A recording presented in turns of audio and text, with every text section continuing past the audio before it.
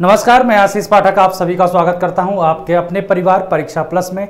EMRS विद्यालय में जो आपकी वैकेंसी आई है, उनमें से सबसे ज़्यादा अगर हम बात करें नॉन टीचिंग पोस्ट में, वो है आपके जेएसए की भर्ती। इसमें सात सौ उनसठ पद पर आपके भर्ती निकाली गई है। तो जो बच्चे किसी कारणवश अगर केवीएस में एनवीएस में जीएसए में एक दो नंबर से रुक गए होंगे, वो अपनी तैयारी जारी रखे, क्योंकि सेम पैटर्न पर आपकी ये भी भर्ती जो है निकाली गई है तो इसकी में जल्द ही एग्ज़ाम हो जाएगा।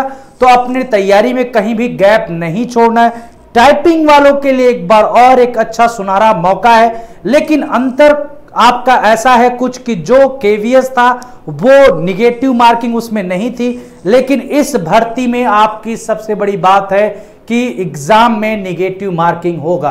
और आपका सिलेबस क्या है? कौन कौन इस फॉर्म को भर सकता है जेएसए का? क्या एलिजिबिलिटी चाहिए? एग्ज़ाम का पैटर्न क्या है? ठीक है, ये सभी चीज़ें मैं आपको बताऊँगा एक एक करके। तो जो लोग ईएमआरएस e के बैच से जुड़ना चाहते हैं जीएसए के बैच से, काफ़ी बच्चों ने फ़ोन करके बोला कि सर इसका बैच कब से स्टार्ट होगा? तो इसकी क्लासेस जो हैं, एक जुलाई से आपकी स्टार्ट हो जाएँगी। रजिस्ट्रेशन स्टार्ट हो चुका है। तो जो बच्चे इस बैच में रजिस्ट्रेशन करना चाहते हैं, वो परीक्षा प्लस ऐप इंस्टॉल करिए और वहाँ से ज्वाइन कर सकते हैं या डब्ल्यू परीक्षा प्लस डॉट ओ से भी आप ज्वाइन कर सकते हैं। ठीक है, हमारी वेबसाइट जो है, Pariksha plus Pariksha plus dot O R G से भी आप Pariksha plus dot O R O R G live dot Pariksha plus, आगे आप लोग लगा लीजिएगा, या प्ले स्टोर से आप परीक्षा प्लस ऐप इंस्टॉल कर लें, परीक्षा प्लस ऐप इंस्टॉल कर लें, वहाँ से आप बैचेस जो हैं ले सकते हैं। ठीक है, ये मात्र पाँच सौ बानवे प्लस जीएसटी है ऑलमोस्ट 699 में आपको ये बैच मिल जाएगा, ठीक है? चलिए तो अब हम लोग यहाँ पर एलिजिबिलिटी की कौन कौन फॉर्म भर सकता है? जेएसए का, उसके बारे में मैं आपको बता दे रहा हूँ कि जेएसए का जो है, वो सात सौ उनसठ पद हैं ठीक ठाक पोस्ट है आप देखा जाए तो सैलरी जो लेवल टू की है यहाँ पर, आपका उन्नीस हज़ार नौ सौ बेसिक बनेगा और इस पर 42 परसेंट आपको डीए मिलेगा। ठीक है, उसके बाद से आपका जो है और भी अलाउंसेस मिलेंगे। तो अलाउंसेस मिलने के बाद इन हैंड सैलरी आपकी 28 से मतलब 29 से इकतीस हज़ार तक जाती है। तो मैंने एक तीस हज़ार का ले लिया है। ऑलमोस्ट की इन हैंड सैलरी आपको तीस हज़ार इसमें मिलेगी। ये ध्यान रखिएगा तो ठीक ठाक सैलरी भी है। रेजिडेंटियल स्कूल है तो आपका रहने का व्यवस्था जो होगा, वो वहीं पर होगा। अगली बार है एज क्या लगेगा, कितने उम्र वाले लोग भर सकते हैं? तो यहाँ मिनिमम एज नहीं दिया गया। जिस एज में आप क्लास ट्वेल्थ क्वालिफाई कर जाओ, बाकी मैक्सिमम एज बोला गया है कि आपका 30 साल से ज़्यादा नहीं होना चाहिए। ठीक है? और S C S T OBC में जो रिलैक्सेशन सेंट्रल गवर्नमेंट देती है, जैसे एससी को रिलैक्सेशन देता है, पाँच साल को एससी और एसटी वाले को, और ओबीसी को एज रिलैक्सेशन जो मिलता है, वो तीन साल का मिलता है। तो ये एज रिलैक्सेशन होना चाहिए, ठीक है? बाकी आपका अगर हम बात करें जो ईएमआरएस e के कर्मचारी होंगे एकलव्य विद्यालय के पहले के कर्मचारी हैं, उनके लिए अपर एज जो है, वो 55 साल कर दिया गया है, ये ध्यान रखिएगा। ठीक है? इनका एज 55 साल है। अब एजुकेशन की बात करें कि कितना पढ़ाई लिखाई चाहिए आपको जेएसए बनने के लिए तो पढ़ाई आपकी सिर्फ़ 12 तक चाहिए मतलब क्लास ट्वेल्थ आप किसी भी स्ट्रीम से पास हो, कोई भी लेना देना साइंस इससे मतलब नहीं है। आप ट्वेल्थ पास हो किसी भी स्ट्रीम से, बस ये होना चाहिए। और आपके पास एक स्किल टेस्ट स्किल नॉलेज होना चाहिए। कौन सा स्किल नॉलेज आपकी टाइपिंग आनी चाहिए। इंग्लिश की अगर टाइपिंग आपको आती है तो इंग्लिश की जो स्पीड होनी चाहिए वो 35 वर्ड पर मिनट का होना चाहिए। अगर आपको टाइपिंग हिंदी की आती है तो इसकी स्पीड आपका 30 वर्ड पर मिनट होना चाहिए। ये स्पीड मांगा गया है, ये ध्यान रखिएगा। दोनों में से कोई एक आप टाइप कर सकते हैं, ये ध्यान रखिएगा। अब आता है कि सर जी, हिंदी के लिए फॉन्ट क्या होगा? तो हिंदी के लिए फॉन्ट आपका मंगल इंस्क्रिप्ट होगा। ये ध्यान रखिएगा, क्योंकि सेंट्रल में यही चल रहा है। अभी आपका, हम बात करें किसका? जो अभी आपका एग्ज़ाम केवीएस का हुआ, उसमें भी आपके स्किल टेस्ट में मंगल इंस्क्रिप्ट ये चला है। तो हिंदी वाले, अगर हिंदी में टाइपिंग दोनों में से कोई एक देना है, दोनों नहीं देना है। ठीक है? और लगा हुआ है साफ़ साफ़ आप पढ़ सकते हो। ठीक, अगला जो है आपका कि एग्ज़ाम पैटर्न क्या होगा? तो इसमें देखिए, पहला जो पार्ट है, इसमें रीजनिंग एबिलिटी पूछेगा आपसे। मतलब रीजनिंग 20 प्रश्न पूछेगा 20 नंबर का होगा। क्वांट जो होगा, वो भी आपका मतलब मैथ जो होगा ये, वो भी आपका 20 प्रश्न 20 नंबर का होगा। आपको ये चीज़ें दिख रही होंगी। ठीक है? यहाँ पर आपको ये दिख रहा होगा सब कुछ कि नहीं दिख रहा है कि क्लियर नहीं होगा। ये सब मैंने बता दिया, एज कितना है, तीस साल तक का है। तो ये सब आपको यहाँ पर देख लीजिए। जनरल अवेयरनेस जो है आपका, वो आपका 30 मार्क्स का 30 क्वेश्चन होगा। 30 क्वेश्चन 30 मार्क्स का होगा। और लैंग्वेज में अगर हम बात करें तो हिंदी और इंग्लिश जो है दोनों लैंग्वेज से आपके 15 15 क्वेश्चन आएँगे। मतलब इसके भी 30 क्वेश्चन होंगे 30 मार्क्स का होगा। अब यहाँ पे कंप्यूटर जो ऑपरेशन बोला गया है, ये भी आपके 30 प्रश्न होंगे और 30 नंबर के होंगे। तो आप देख रहे हैं कि सिलेबस आपका बहुत वेल डिफाइन किया गया। टोटल 130 प्रश्न है और ढाई घंटे का पेपर होगा। अब एक बात केवीएस से इसमें क्या अंतर है कि वहाँ पे आपका निगेटिव मार्किंग नहीं था, लेकिन अगर हम बात करें यहाँ पर तो यहाँ साफ़ साफ़ बिला है one mark shall be awarded to every correct answer and point two five shall be deducted for every incorrect answer मतलब निगेटिव आपका कितना है? वन बाई फोर्थ है। ठीक है? ये ध्यान रखिएगा। उसके बाद से जब आपका ये हो जाएगा तो type writing test will be assessed on PC personal computer only ठीक है, ये ध्यान रखिएगा। 50 मार्क की आपकी टाइपिंग होगी और उस 50 मार्क्स की टाइपिंग क्वालिफाइंग है। वो नंबर पे डिपेंड करता है। यहाँ पर ये ध्यान रखिएगा, आपका 20 नंबर आपको सिक्योर करना है उसमें से। ठीक है? उसका डिटेल आपका जब टाइपिंग होगा, तब दे दिया जाएगा।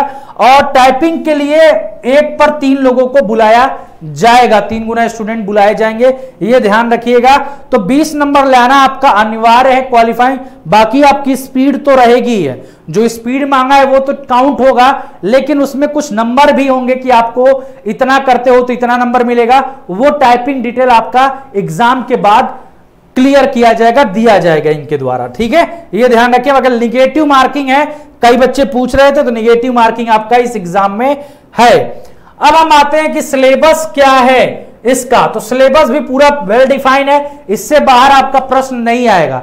तो आपको जितना टॉपिक दिया, बस उतना ही पढ़ना है। दुनिया भर की टॉपिक नहीं पढ़ना है। जैसे पजल आपको पढ़ लेना है सिटिंग अरेंजमेंट लीनियर सर्कुलर पढ़ लेना है। यहाँ से प्रश्न आएगा, और सबसे बेटर बात है कि यहाँ पे आप जो देख रहे हो कि रिसेंट में एसएससी में भी इनसे प्रश्न पूछा जा रहा है। ठीक है? दो दो, तीन तीन प्रश्न पूछा जाता है सीटिंग अरेंजमेंट से।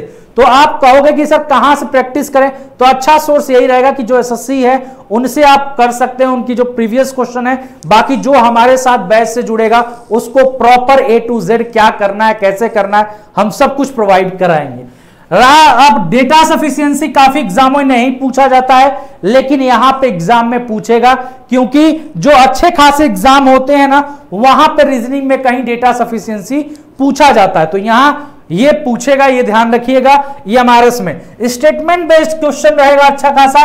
वर्बल रीजनिंग जैसे स्टेटमेंट कंक्लूजन आर्गुमेंट ये वाले पोर्शन आपके रहेंगे।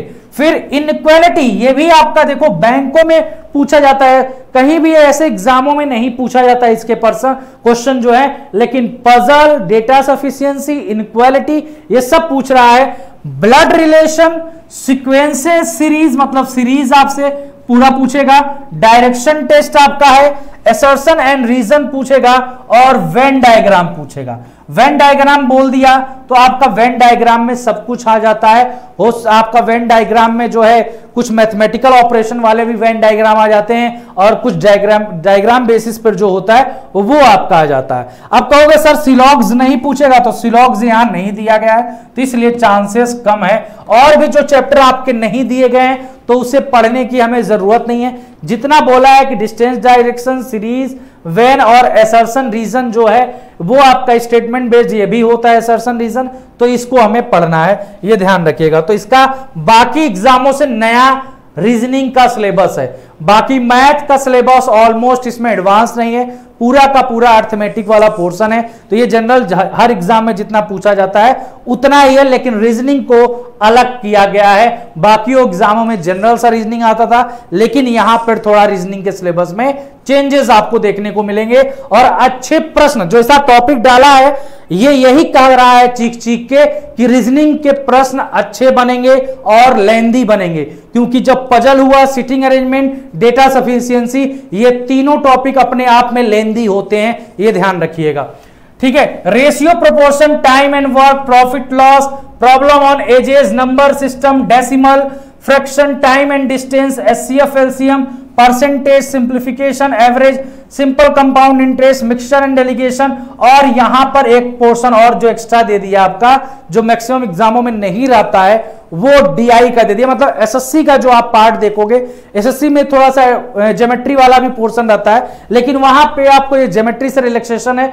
अर्थमेटिक के साथ ही आपका डीआई दे दिया, क्योंकि डीआई में आपका इन सभी का कहीं ना कहीं रोल है। जैसे आप प्रॉफिट लॉस हो गया रेशियो प्रोपोर्शन हो गया, ये जो आप पढ़ोगे ना तो उसका इंप्लीकेशन इंप्लीमेंटेशन आपका डीआई में करना होगा। तो ये चीज़ें आप कर सकते हो। ये ध्यान रखिएगा तो ये आपका वही है जो जनरल में होता है। जीएस का जो जनरल अवेयरनेस का है इनका ज़्यादा डिटेलिंग में आपका टॉपिक नहीं डिस्क्राइब किया गया साफ़ साफ़ बोला गया है कि जनरल नॉलेज मतलब जनरल नॉलेज मतलब स्टेटिक जीके ठीक है? स्टेटिक जीके आपसे पूछेगा, और current affair with special emphasis in the field of education मतलब जो जनरल नॉलेज और करेंट अफेयर होंगे, उनका जो होगा मेनली एजुकेशन पे इंपैक्ट करके एक तरह से प्रश्न के क्वेश्चंस आपके जा, जो क्वेश्चंस होंगे, वो ज़्यादा सर एजुकेशन रिलेटेड होंगे, ये कहा, कहने का मतलब है इनका। तो आपको ऐसा नहीं है स्टेटिक जीके में सब कुछ पढ़ना है, लेकिन एजुकेशन पे थोड़ा सा पॉलिसी वॉलिसी पे ज़्यादा ज़ोर देना है, खासकर जो सेंट्रल की एजुकेशन से रिलेटेड पॉलिसी हैं, जो खासकर एस सी एस टी के लिए जो एजुकेशन की पॉलिसीज़ आती हैं, उन पे ज़्यादा इंपैक्ट करना क्योंकि ये ई विद्यालय, ये ध्यान रखिएगा। जनरल हिंदी आपकी वही है, संधि, समास, विलोम शब्द पर्यावाची शब्द, असामान्य शुद्धियाँ वाक्यांशों के लिए एक शब्द, मोहरे लोकंत्य अपठित गद्यांश और पर। आधारित पर इसमें पढ़ने का अगर हम बात करें तो संधि है और समास है। बाकी विलोम, पर्यावाची तो आपको रटने वाली चीज़ है। अशुद्धियाँ हैं, वाक्यांश के लिए एक शब्द, मोहरे ये भी रटने वाला है। गद्यांश का आप प्रैक्टिस कर ले जाओगे, बस इतना ये हिंदी एकदम आपका आसान है, एकदम आसान दिया गया सिलेबस।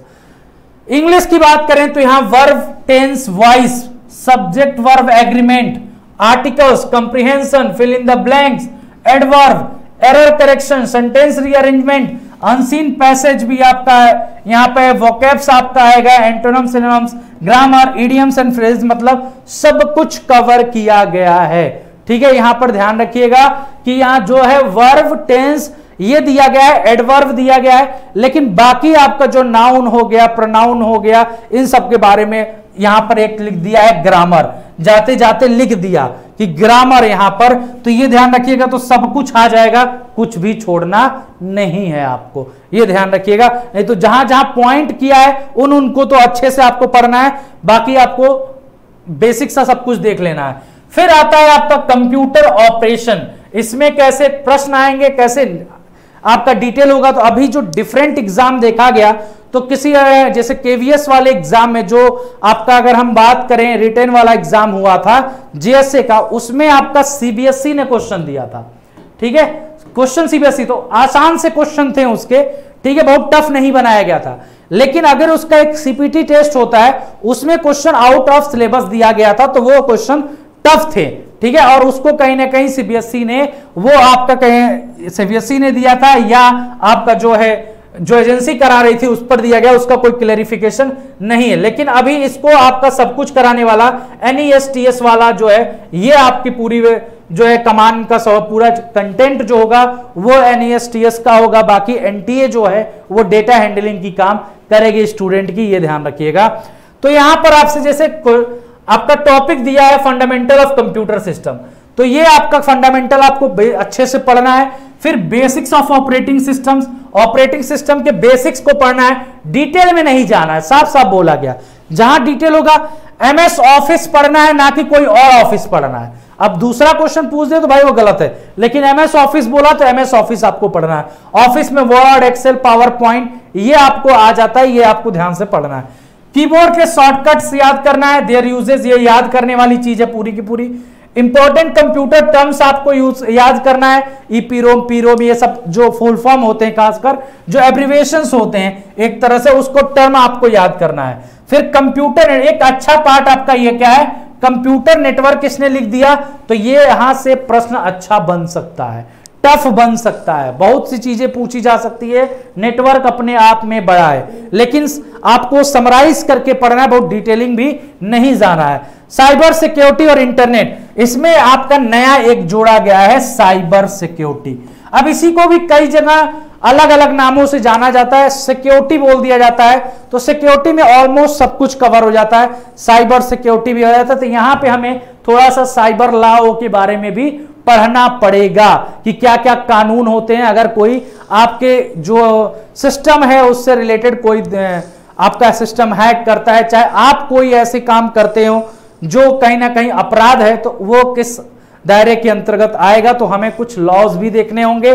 फिर इंटरनेट है। इंटरनेट के यूजेस क्या है? इंटरनेट का आविष्कार कैसे हुआ? क्या क्या ब्राउज़र कौन कौन से हैं? यही क्वेश्चन अभी देखने को मिला था, जो एग्ज़ाम हुए थे जैसे में मेन एग्ज़ाम में तो उन सब में प्रश्न इन्हीं सब चीज़ों से बनता है तो जैसे होगा, वैसे आपको पूरे बैच में मैं ही आपको कंप्यूटर पढ़ाऊँगा।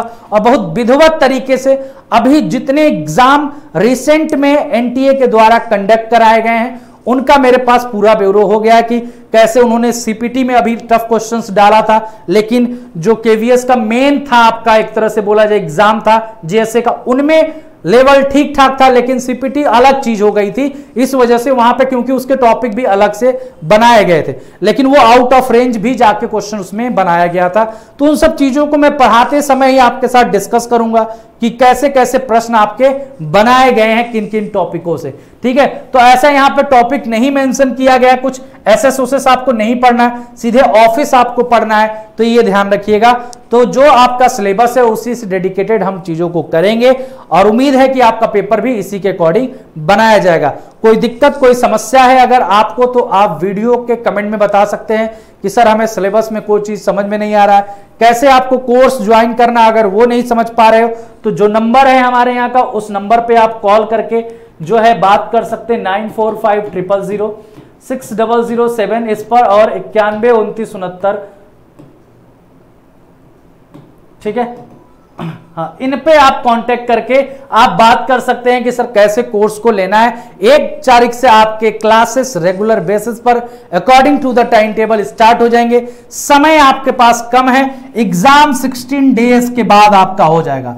आफ्टर 16 डेज़ का टारगेट है हमारा बैच भी आपका 60 दिन के लिए ही बनाया गया है। ये हम मान के चल रहे हैं क्योंकि ईएमआरएस e में अब विद्यालय ओपन हो रहे हैं। समय एकदम नहीं मिलेगा।